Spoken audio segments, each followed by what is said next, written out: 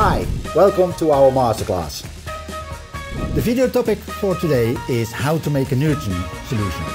But before we start, the first thing we have to understand, we give the plants water and nutrients at the same time.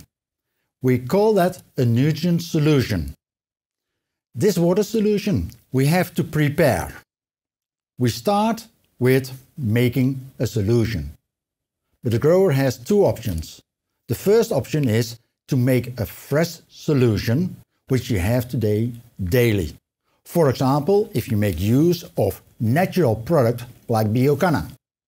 But if you want to make a stock solution which is needed for the whole week, that you can do with all mineral nutrients.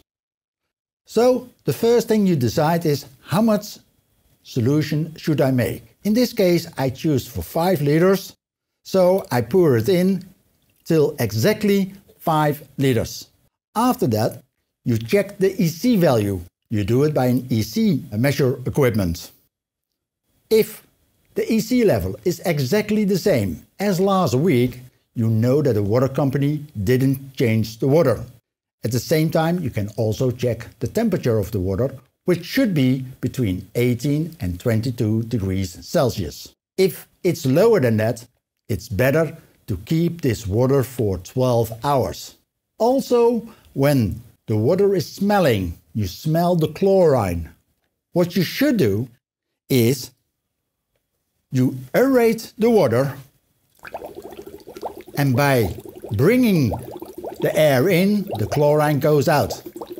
But this you have to do for 12 hours. Go on, Philip, go on.